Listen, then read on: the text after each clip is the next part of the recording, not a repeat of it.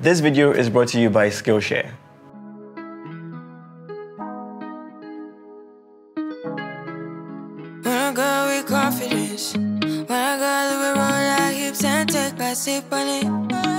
Take a trip on it.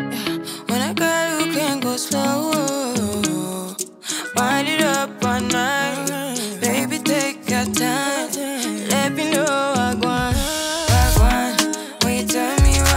Hopefully, when you get the basics of studio photography, that is when you're done watching this video or photography in general, I believe that the next step is going to be of you bringing your visions to life. And that is where today's sponsor, Skillshare, comes in. It is by no accident that they have specific courses about photography, marketing, uh, videography, basically anything that you can think of, there is a course like that on Skillshare. You guys know I go on Skillshare and look for courses that I believe will add value to your craft. And there is a course by Sophia Carey, which I believe is a perfect follow-up to this video that you're currently watching. And the course I'm talking about is called Portrait Photography 101, Transforming Your Vision into a Workflow.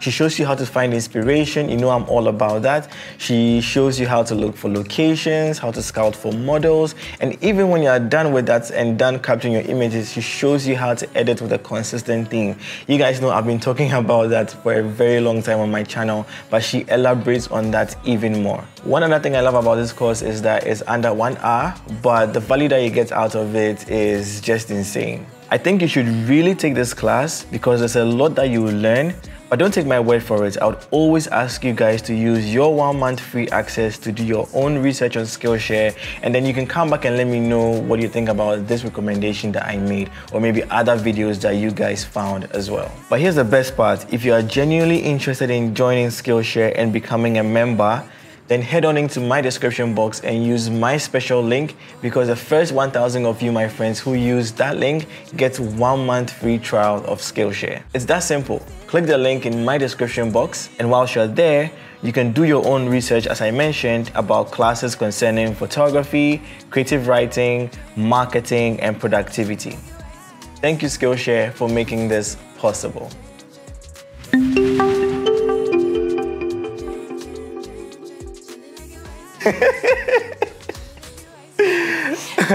anyway, guys, today we are doing a basic studio photography setup. I know that most of the videos I've been doing is almost like completely set up, right?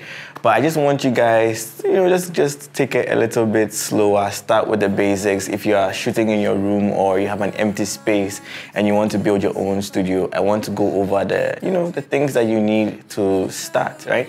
So the first thing is if you own the space, right?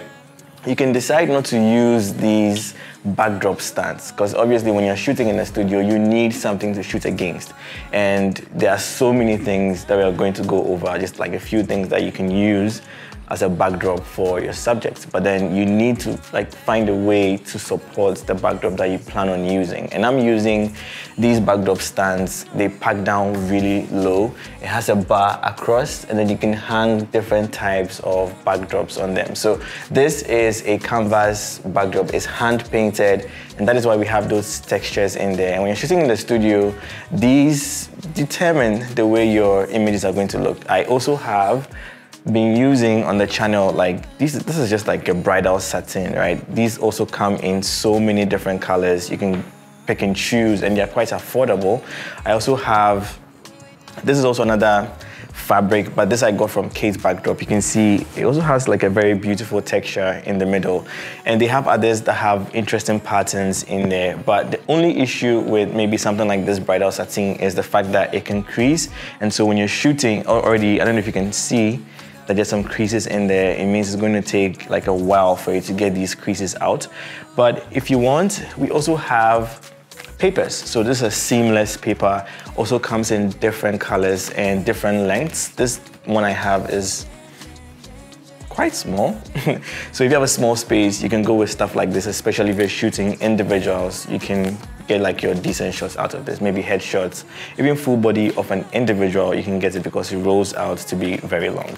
So this covers pretty much what you need you know, so like your backdrop stand, the backdrop itself, and the next thing we'll talk about is going to be your lights. So over here, I have a flash head This is the Flashpoint XPLOR 400 Pro. If you have a speed light, you can use that. These lights can be modified. You can put different modifiers on them to shape the light.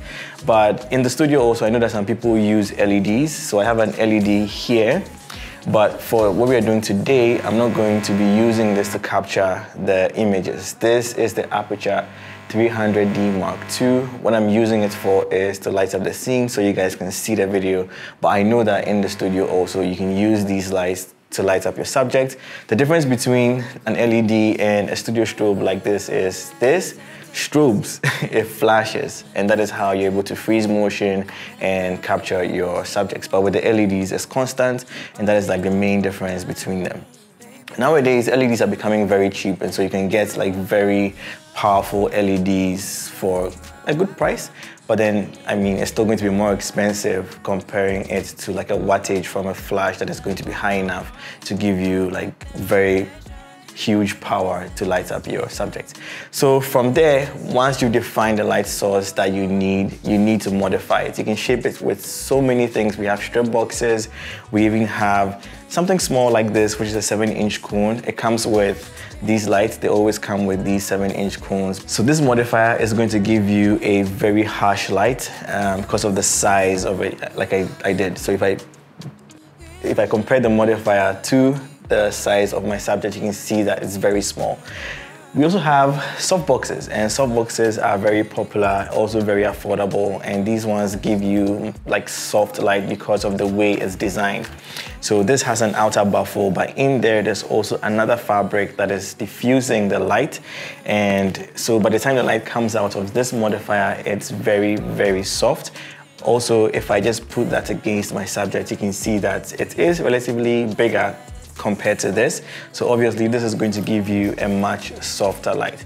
Then also, because of the way it's coming out from the softbox, I can even decide not to aim the middle part onto my subject, use the edges, and that's what we call feathering. So using like the softest parts of the light will reduce hotspots and you know just give you enough or help you get even softer light. So the bigger your modifier is, in relation to your subject, the softer the light.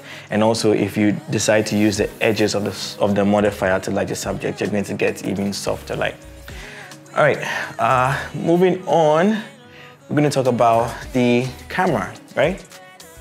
I'm going to be using my Canon R5 and the Sigma 85mm lens for this, but the thing that we're doing today is we're just using one light and I'm controlling the power of the light with my Godox XT, X1T trigger.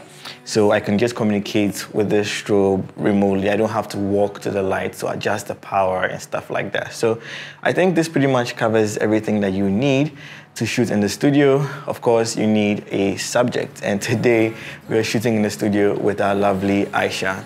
Um, We'll talk about the styling later.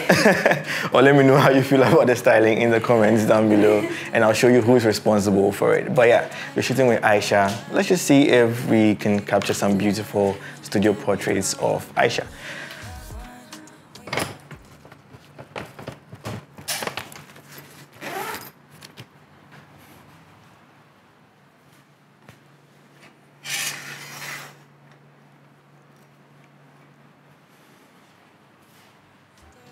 All right, Aisha, um, just make sure you can just come forward a little bit. Come forward, come forward, come forward, come forward.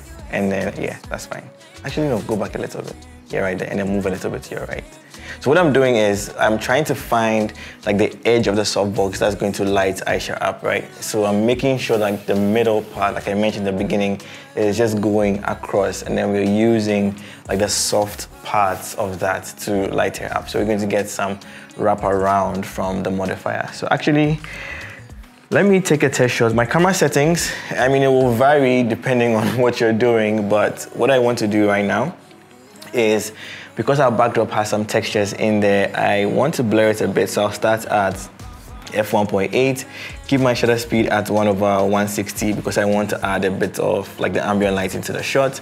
Keep my ISO at 100, all right? So let me just take a shot and let's see what we get. Yeah, already the LED is influencing it, but this is like daylight entering your studio. It's absolutely fine. I'll turn on the strobe. It's in group A, currently at 1 over 64. Take a shot. Boom. Okay. It's looking a little bit too harsh. So what I'll do is, Aisha, just stay where you are and I'll just turn this away and also move it back just a little bit. So with studio shots, when you're doing these things, you have to be precise with your lighting. As soon as I get it to look the way I want, yeah, that looks good. But also just take like half a step away from the light.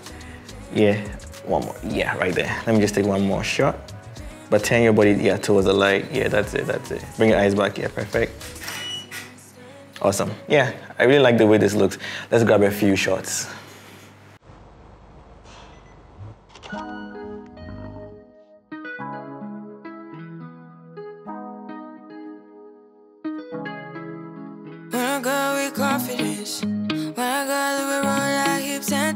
Sip on it. Take a trip on it. When I got you can go slow. Wind it up all night.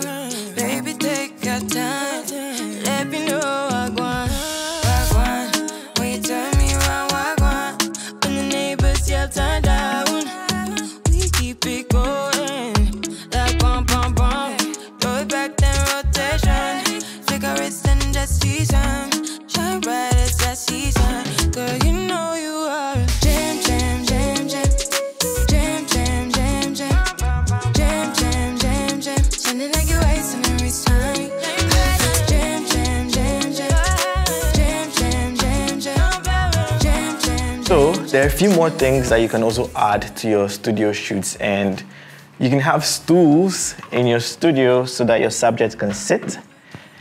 Um, let me just put this here. Make sure you're in the same spot. If you have Apple boxes, you can use those. You can also be more creative, build your own. I made a carpenter make this for me. Let me see the height. Mm, do you think it should go higher? Wait, let me just raise that up. I don't want the back to show, so I'm just making sure that I'm using a good surface area. Cool? All right. And then one last thing that you can also utilize in your studios are reflectors. These are very cheap and affordable ways of adding an extra light source. It's not really generating its own light. What it's doing is whatever light that you have on set, just put it on the opposite end and it's going to bounce some of that light back just to open shadows, right? And always have stands that you can use to support these things. Just gonna raise it up.